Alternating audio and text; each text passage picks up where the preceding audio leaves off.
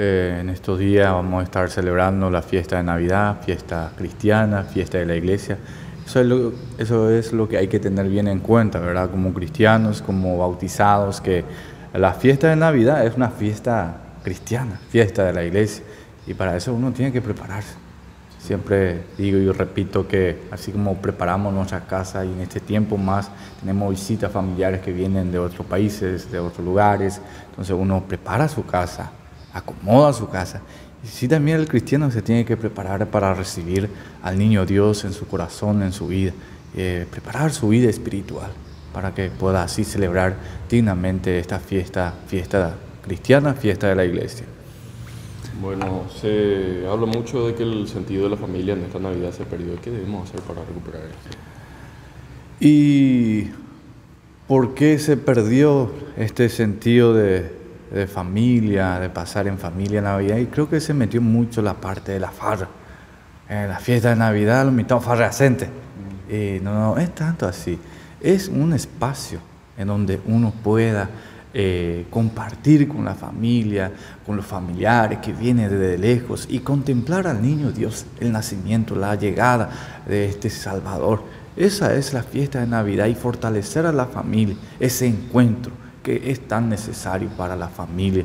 Y eso hay que trabajar nuevamente, porque como te dije, se metió tanto las partes de la farra en la Navidad hay que farrear, hay que amanecer por la calle y no es para eso la Navidad. La Navidad es fiesta de la iglesia, fiesta de la familia. También hablando de la fraternidad que debe recuperarse después de lo que tuvimos recientemente, una contienda política bastante fuerte. Y creo que por el bien del pueblo, por el bien de nuestra gente, eh, los partidos políticos tienen que mirar siempre a nuestra gente.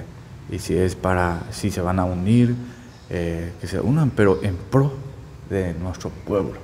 Eh, creo que fue muy reñido la contienda porque los dos fueron, eh, querían realmente subirse a estar, encabezar este partido, en este caso el Partido Colorado, ¿verdad?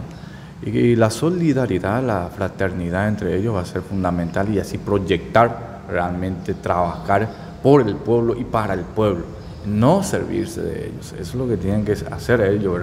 Eh, la fraternidad entre ellos y que realmente se unan, pero para trazar objetivos, proyectos para el pueblo. Eso tiene que ser lo, primordial para, para nuestro país, para nuestro pueblo, para nuestra ciudad.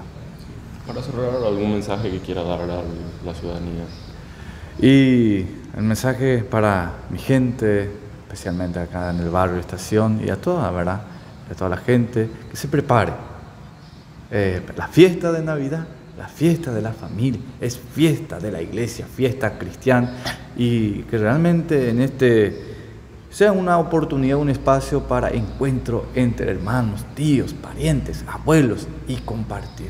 Y que todos pasemos una feliz fiesta de Navidad y que el niño Dios nazca en cada hogar, en cada corazón.